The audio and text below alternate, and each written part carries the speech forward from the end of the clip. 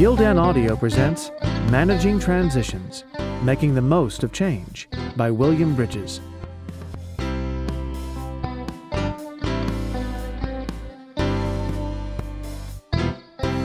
Narrated by Sean Pratt.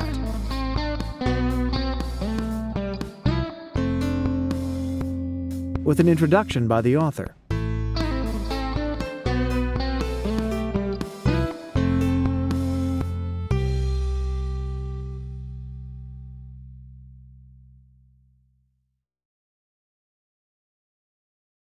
Introduction Diseases always attack men when they are exposed to change.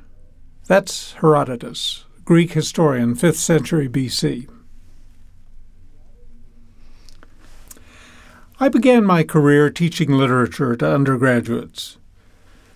Being 25 years old at the time, I felt I understood a number of things that my elders didn't grasp. As a member of the college's academic policy committee, I was also in a position to put my understandings into action. Being not too far beyond student status myself, I knew how depressing it was to go to classes on Saturday. If you're old enough, you'll remember that back in the 60s, most colleges had Monday, Wednesday, Friday classes and Tuesday, Thursday, Saturday classes. Students hated the latter and some even chose their majors on the basis of which fields did not require Saturday classes. The case against Saturday classes was so clear, I felt, that a person had to be really stupid not to see it at a glance. First, many students skipped their classes on Saturday whenever possible. That led to gaps in their knowledge. Second, quite a few teachers hated them too, Third, Saturday classes required that the college buildings be kept lighted and heated for an extra day a week. Fourth, and not unrelated to the third reason, the college president wanted to do away with Saturday classes.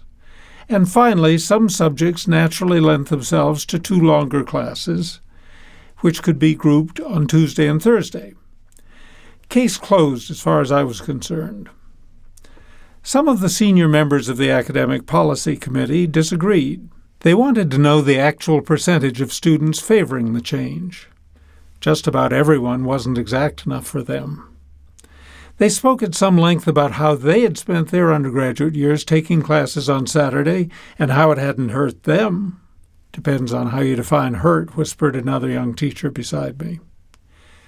Just as I was about to protest, one of my elders said with exasperation, if we shifted from three classes a week to two, I'd have to rewrite my lecture notes. I still remember my shock as I watched most of the other committee members nod and vote down the change. As the discussion degenerated into chit chat, I searched for an explanation. Were these people self serving hypocrites who only pretended to be interested in helping students learn? Or were they so reactionary that they would oppose any policy change automatically? Or were they simply stupid? I think that this incident was the beginning of my lifelong interest in organizational change and why it does not happen even when logic and common sense seem to be on its side. When I subsequently returned for my doctorate, I chose a thesis topic related to social change. And now, 40 years later, I'm an organizational consultant specializing in helping people through change. Looking back on that early experience with curricular change, I'd say now that those other professors were not simply self serving reactionaries. At least no more so than the executives and managers I work with today, or than I myself am.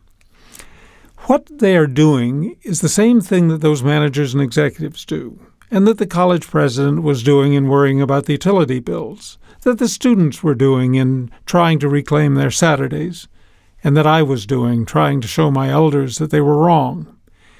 They were struggling to protect their world and the meaning and identity they got from it.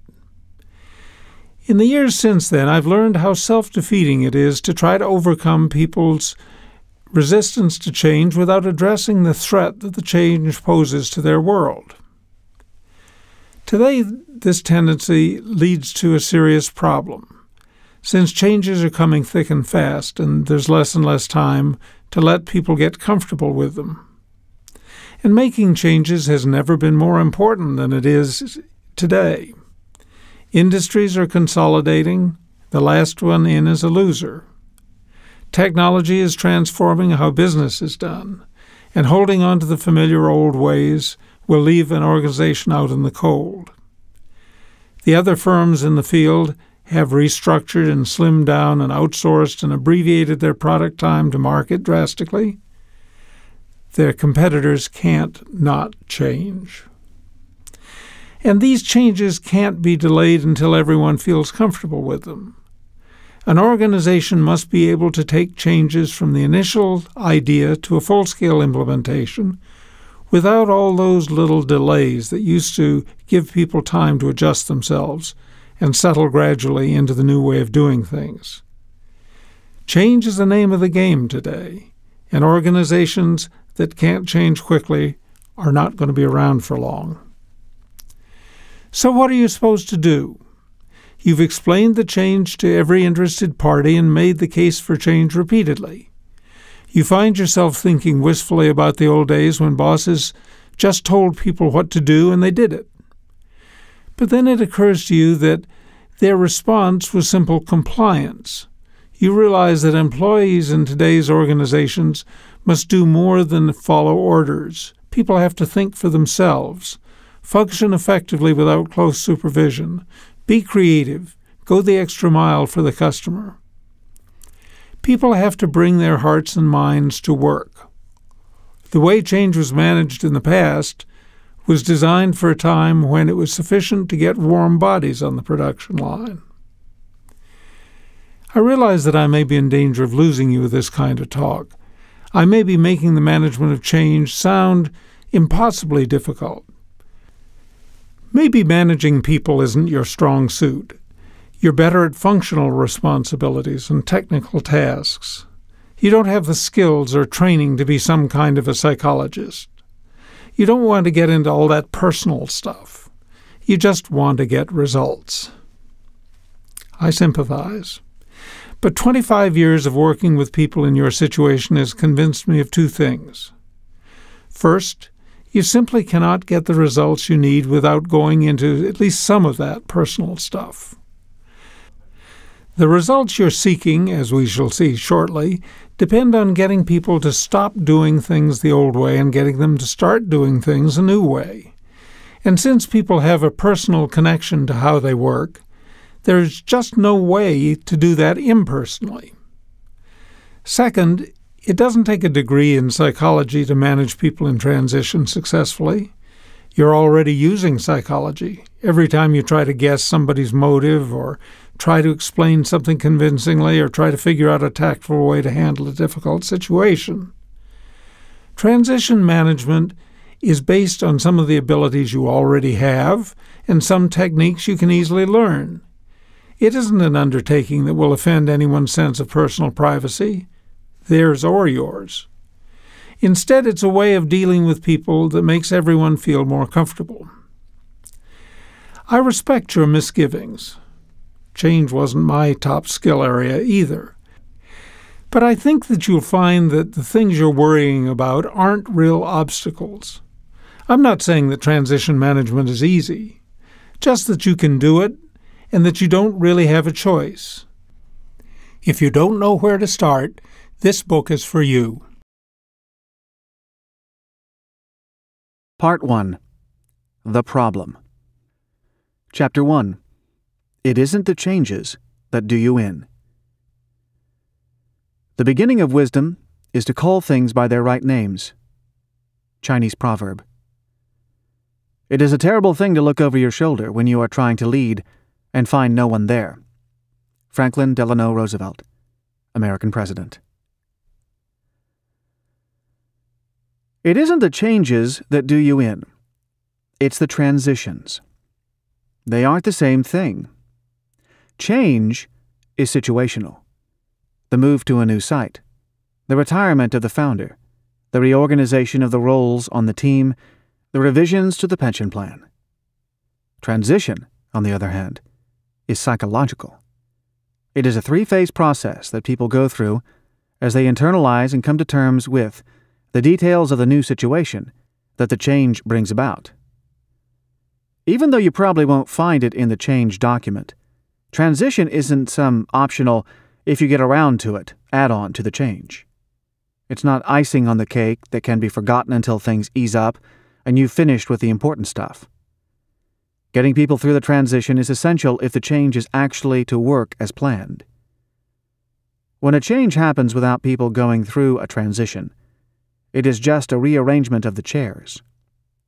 It's what people mean when they say, just because everything has changed, don't think that anything is different around here.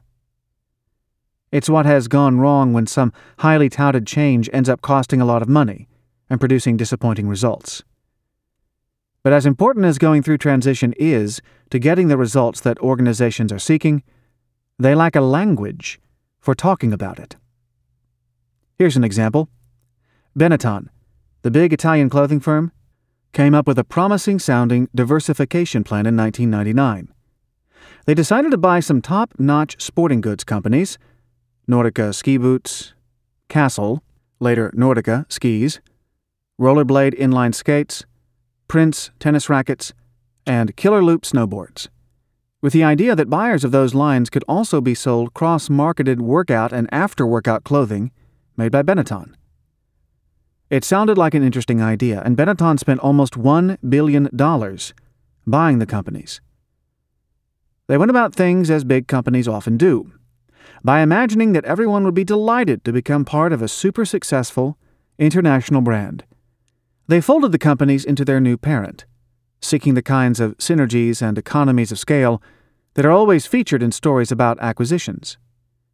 They began by combining the sales forces and marketing groups and tightening the bonds by moving the units in question to the site of the new Benetton Sports System Division in Bordentown, New Jersey. The trouble was, in the words of the man who subsequently tried to save the acquisitions after things had headed south, the people who are in these businesses are often in them because they love that activity. If you sap that, you have nothing, internally or competitively. At Rollerblade, for example, employees spent their lunch hours skating through Minneapolis's lovely lakeside parks and playing roller hockey outside their headquarters building. Benetton hadn't thought through the implications of that fact, or of the impact of terminating a large percentage of the employees, three quarters of them, at Rollerblade. The man trying to save the acquisitions got the 21 survivors to move to New Jersey, but only by giving many of them raises, promotions, and a promise that if they wanted to return to Minneapolis within a year of the move, they'd be moved back free and receive severance packages of up to two years. When they got to New Jersey, many of them found that they were reporting to former Nordica reps. That was better than what happened to the tennis racket crew from Prince, who were all fired. The bottom line, that mythic measure that justifies anything, was that during the year when all this happened, Benetton went from making a U.S. profit of $5 million to posting a loss of $31 million.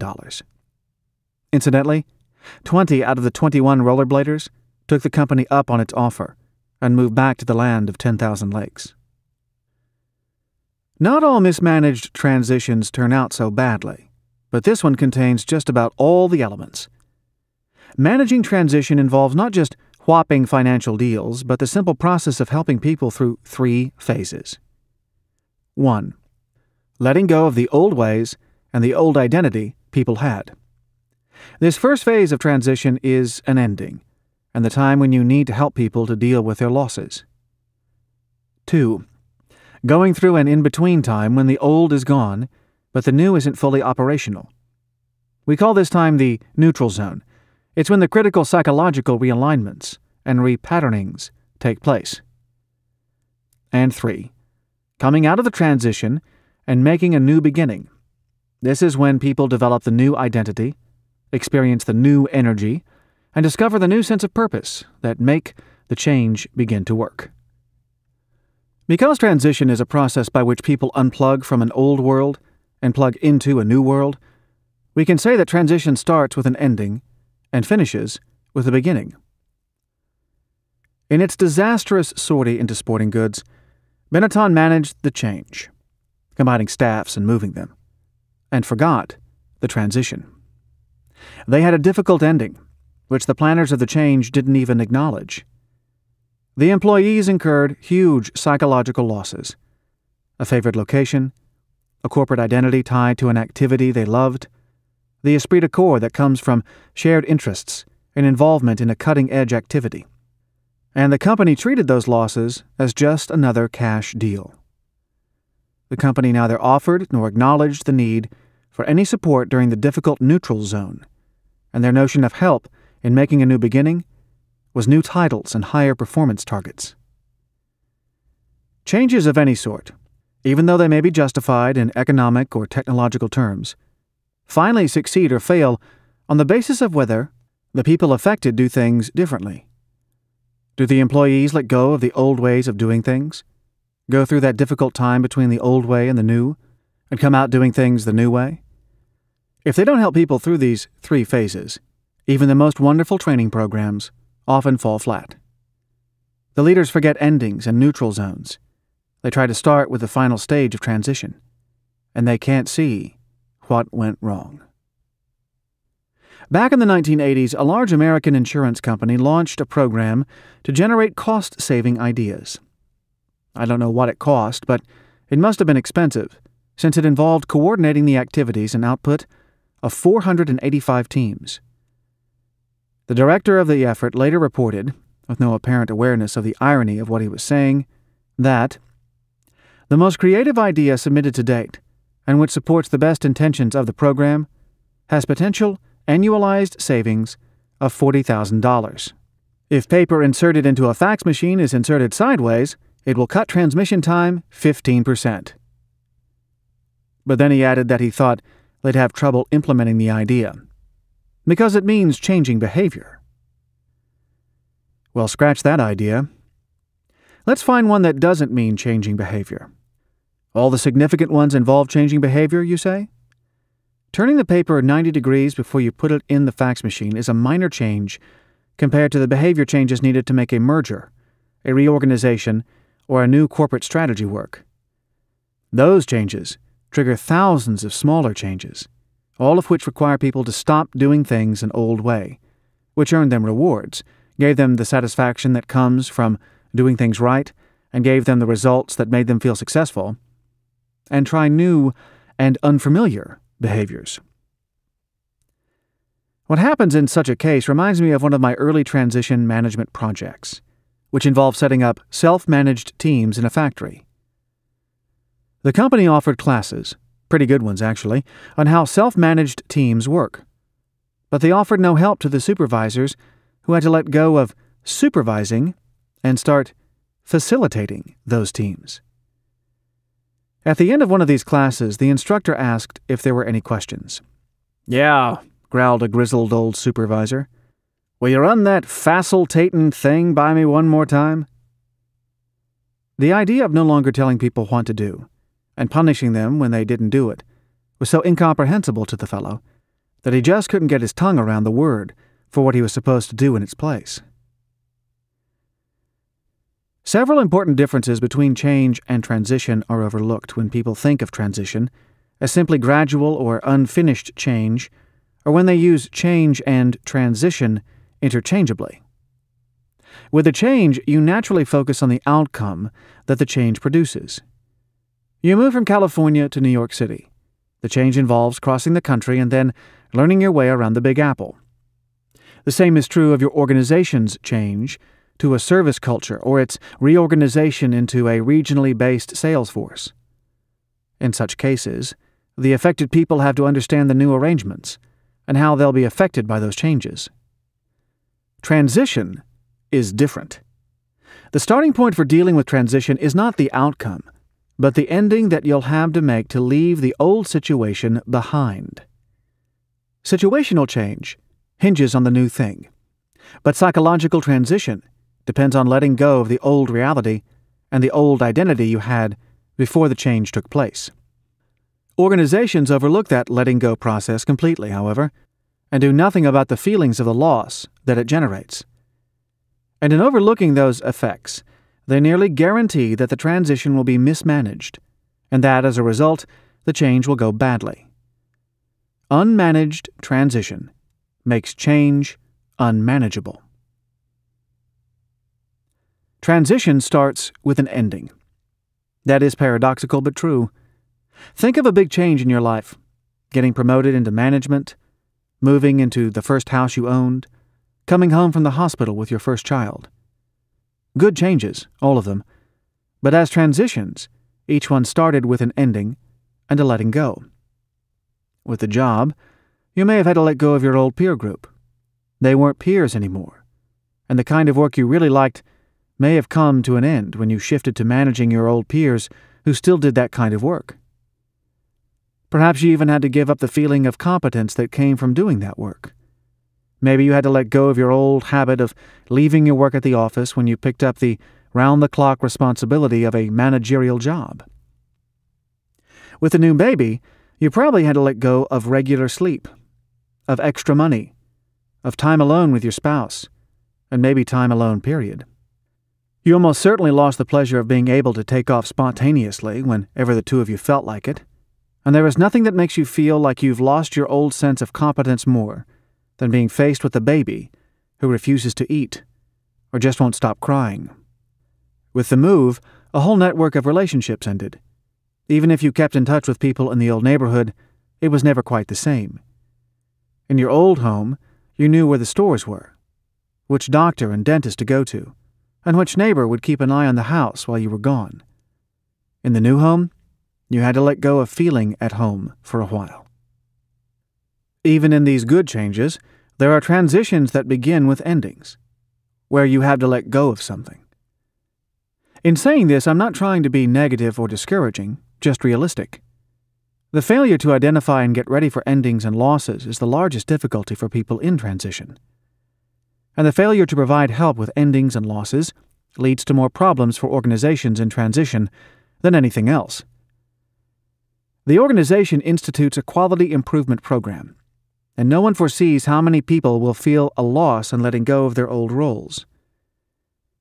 In one client organization where people prided themselves on being able to spot defective goods as they went by on the production line, the change to statistical process control caused one production line worker to say sadly, Heck, anybody can do my job now. You don't need no skill anymore or the organization builds a beautiful new headquarters building, and nobody foresees that many people, who'd been proud that they became a $1 billion a year company while housed in 14 nondescript rented buildings, will view the new headquarters as a sign that the company they loved is gone. Once you understand that transition begins with letting go of something, you have taken the first step in the task of transition management. The second step is understanding what comes after the letting go the neutral zone. This is the psychological no man's land between the old reality and the new one. It is the limbo between the old sense of identity and the new. It is the time when the old way of doing things is gone, but the new way doesn't feel comfortable yet. When you moved into your new house, or got the promotion, or had the new baby, the change probably happened pretty fast. But that is just the external, situational change. Inwardly, the psychological transition happened much more slowly. Instead of becoming a new person as fast as you changed outwardly, you found yourself struggling for a time in a state that was neither the old nor the new. It was a kind of emotional wilderness, a time when it wasn't quite clear who you were or what was real. It is important for people to understand and not be surprised by this neutral zone for several reasons. First, if you don't understand and expect it, you're more likely to try to rush through or even bypass the neutral zone, and to be discouraged when you find that doesn't work. You may mistakenly conclude that the confusion you feel there is a sign that something is wrong with you. Second, you may be frightened in this no man's land and try to escape. Employees do this frequently which is why there is often an increased level of turnover during organizational changes. To abandon the situation, however, is to abort the transition, both personally and organizationally, and to jeopardize the change. Third, if you escape prematurely from the neutral zone, you'll not only compromise the change, but also lose a great opportunity. Painful though it is, the neutral zone is the individual's and the organization's best chance to be creative, to develop into what they need to become, and to renew themselves. The positive function of the neutral zone will be discussed further in a later chapter. So here, let me simply say that the gap between the old and the new is the time when innovation is most possible, and when the organization can most easily be revitalized. The neutral zone is thus both a dangerous and an opportune place, and it is the very core of the transition process. It is the time when repatterning takes place. Old and maladaptive habits are replaced with new ones that are better adapted to the world in which the organization now finds itself.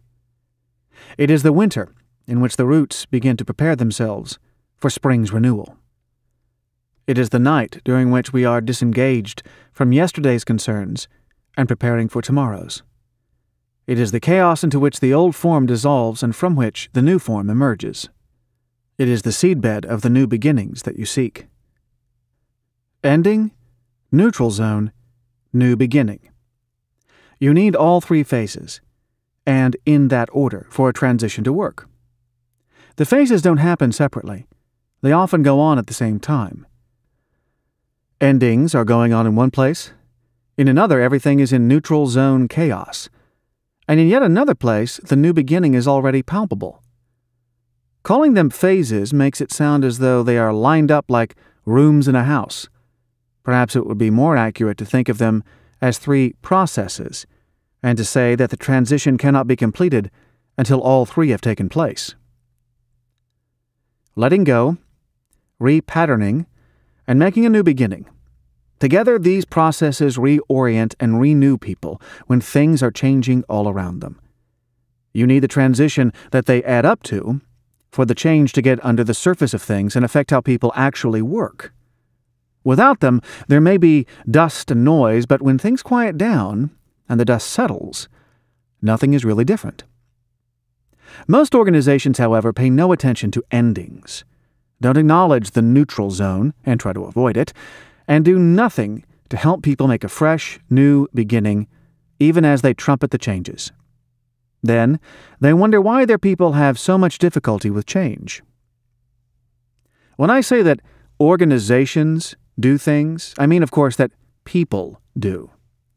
Only people, like you, can recognize that change works only if it is accompanied by transition.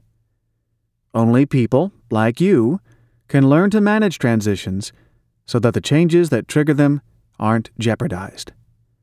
Only people like you can implement change in such a way that people actually get through it and the organization doesn't end up being hurt rather than helped. The following pages will show you how to do those things.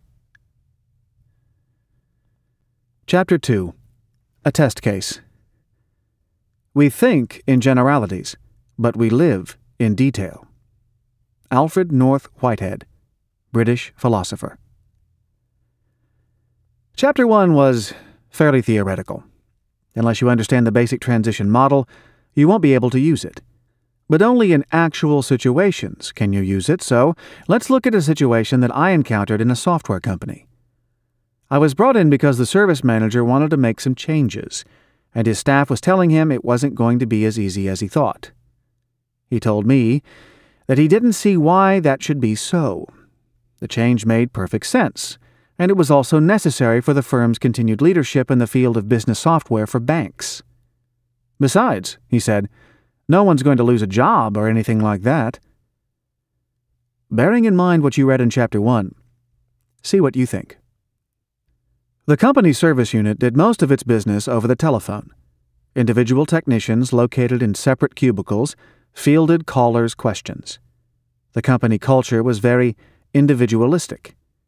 Not only were employees referred to as individual contributors, but each was evaluated based on the number of calls he or she disposed of in a week. At the start of each year, a career evaluation plan was put together for each employee in which a target, a little higher than the total of the previous year's weekly numbers, was set. To hit the target, brought you a bonus. To miss it cost you that bonus. Purchasers of the company's big custom software packages called to report various kinds of operating difficulties, and the calls were handled by people in three different levels. First, the calls went to relatively inexperienced individuals who could answer basic questions. They took the calls on an availability basis. If the problem was too difficult for the first level, it went to the second tier. Technicians at that level had more training and experience and could field most of the calls.